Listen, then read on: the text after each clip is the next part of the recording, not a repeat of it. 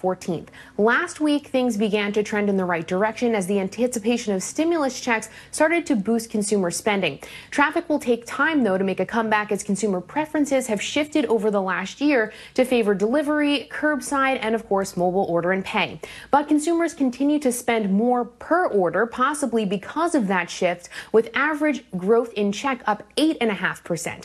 We are, of course, lapping the beginning of the pandemic when things started to take a turn within the industry, which still has a very long way to go, but got some welcome news in the latest stimulus package with the creation of the Restaurant Revitalization Fund. The $28.6 billion in aid is going to allow eligible businesses to receive a tax free federal grant equal to the amount of pandemic related revenue losses. Aid will be capped at $10 million, and the SBA is going to prioritize those grants for small businesses that are owned by women, vets, and the economically disadvantaged. This is in addition to the aid that's being distributed via the PPP. There's also a push to extend the PPP beyond March 31st. Looking at the restaurant stocks year to date, another interesting trend is starting to emerge. Many of the casual names are doing really well. In fact, they're for the most part the best performers of the year. Bloomin' Brands, Red Robin, Darden, BJ's Restaurants, and Brinker all very much in the green year to date, perhaps on the expectations that there's going to be a lot of pent up demand this year. David, back over to you. Yep. A lot of potential demand. Kate, thank you. That is a great place to start with our next guest, whose restaurants are taking the opportunity to hire back staff previously laid off due to the pandemic. Joining us now is Xi'an Famous Foods CEO and owner Jason Wang. Jason, uh, good to have you. Just tell me, where do things stand right now for your business in terms of potentially coming back, so to speak? Sure. Thank you for having me, David. Um, our business has suffered greatly, unfortunately, through the pandemic. Uh, you know, in terms of coming back, uh, we were at 14 locations before the pandemic, and we shut everything down.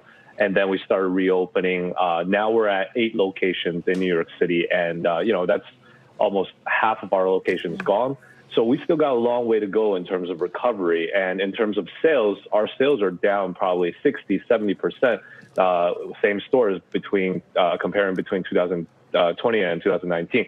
So it's still a long way uh, to recovery, but you know, like you mentioned with the uh, restaurant uh, relief funds and uh, the PPP, uh, those are our lifelines. Those are things that are going to help us get back on track.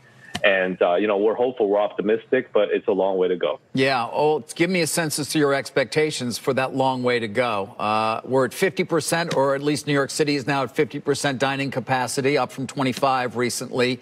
Do you see a roadway to sort of having all of your restaurants back open at some point in the future? Yeah, I mean, our restaurants are currently takeout only, and th- there are a few that are closed right now. Um, you know, we're, we're hoping that with higher capacity limits uh, allowed in New York City, we'll be able to safely reopen our indoor dining. Uh, you know, restaurants are about the hospitality experience. It's about the experience of eating in, interacting with our staff. Uh, that's what we're all about as well. So um, to have that, we really want to have 100% indoor dining in order to feel confident that you know people are, that it's safe to do so. Once it's safe to do so, then we'll do it, and uh, you know, hopefully, we'll be able to make up for some of the losses at that point. Um, but and hopefully, we'll be able to reopen more locations or open new locations, uh, whatever the circumstances uh, are best fit for us at that point. Jason, I'm a big fan. Love those hand pulled noodles. Uh, so it's good to have you on the you. show. I mean, one of the Thank things you, that we watch so closely here at CNBC every Thursday is those weekly jobless claims. Um, there's been a lot of discussion and debate about how stubbornly high they've continued to be, uh, and, and certainly one of the one of the things that's been floated out there, concepts that's been floated out there, is that as you've seen reopenings and then closings and then reopenings again, that in some cases those claims are people that um, were let go or furloughed, came back to work, let go again. Just in terms of what you've seen with the ebb and flow of reopen, reopenings in New York City, what has that process been like for you? How is it now affecting your rehiring efforts currently?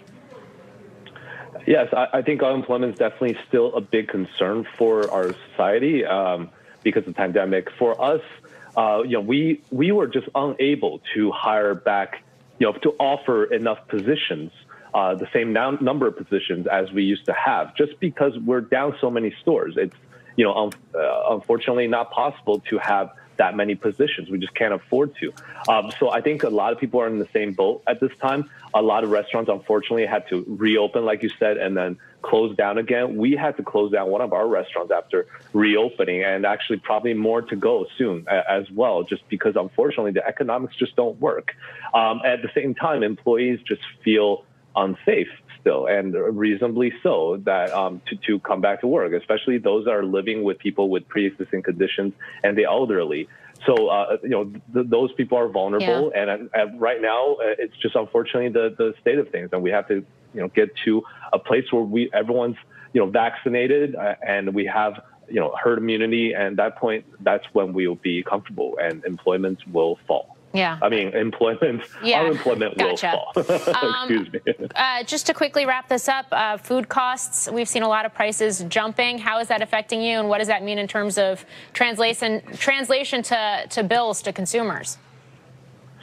Yes, absolutely. Uh, it's unfortunate. It's a squeeze right now. You know, uh, we have low demand for uh, for our products just because there are less people around New York City. There are less people eating, uh, dining out and uh, uh, for us, we also have increased food costs. For example, our oxtails uh, are just through the roof. And among everything oxtails. else, there's shortages of uh, things. It's not just about the price. So, uh, and at the same time, I say it's a squeeze because we also had to raise our prices a little bit. Uh, we haven't done so in about four years, but we just did in order to, you know, make sure that we can still afford to pay our employees the same rate pre-COVID as pre-COVID, and also to try to cover as many of our costs as possible without owing people too much money. So uh, it's a squeeze and it's tough. Uh, but I think that you know having a strong brand definitely helps with that. Mm-hmm. But it's unfortunately something that a lot of restaurants have to face these days. All right, Jason. Thanks and good luck.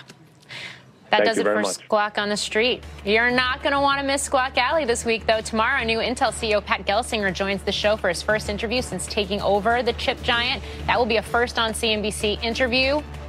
Meantime, Squawk Alley starts right after this break.